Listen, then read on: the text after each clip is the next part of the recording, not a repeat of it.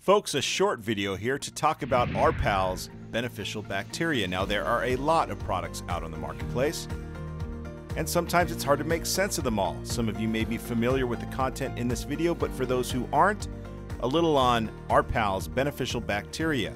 Are you using the right type at the right time? Coming up.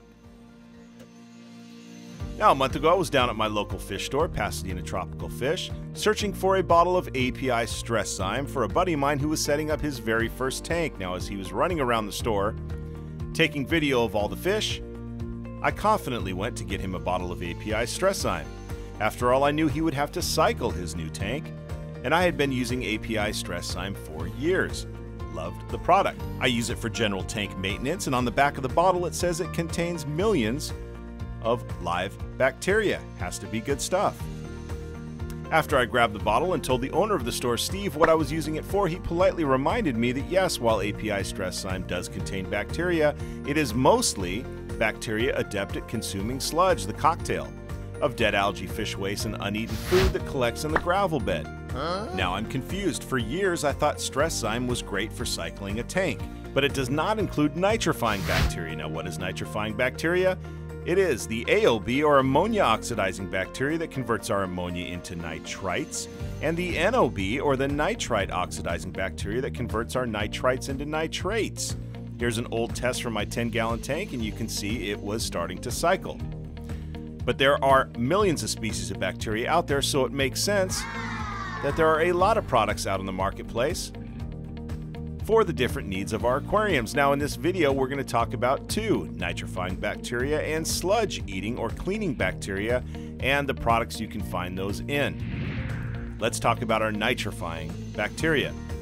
Our pals nitrifying bacteria are the all-stars. This is the bacteria used to cycle our tank and the bacteria that eats ammonia and nitrites. Products such as API Quick Start, Seachem Stability, and Fluval Bioenhancer all contain the same type of bacteria nitrifying bacteria. These products include our AOBs, ammonia oxidizing bacteria, such as Nitrosomonas and Nitrosococcus bacteria. And these products contain our NOBs, our nitrite oxidizing bacteria, such as Nitrobacter bacteria.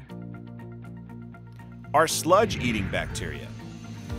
This is bacteria that eats decomposing organic material that collects on the bottom of our tanks. Products such as API Stress Zyme, Seachem Stress Guard, Fluval Biological Cleaner, all do the same thing. These have our sludge eaters.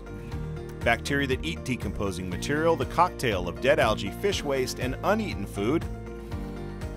And they help our nitrifying bacteria. Sludge in your aquarium robs nitrifying bacteria of oxygen. So these guys help nitrifying bacteria breathe. So, how do we make sense of all these products? Well, if you are cycling your tank or if you do a water change and want to add those good bacteria that eat ammonia and nitrites, we want to use products such as API Quick Start, Seachem Stability, Fluval Bioenhancer, or from the good folks at Continuum, Bacter Gen F.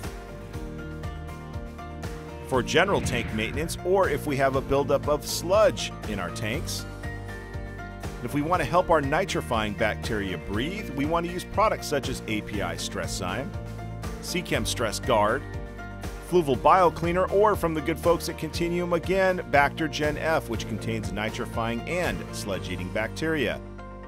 So, folks, I hope that is helpful. The Den is now on Instagram at dmichaels Fish Den. Join me if you are so inclined. Please like, comment, subscribe for future content. And as always, thanks for watching.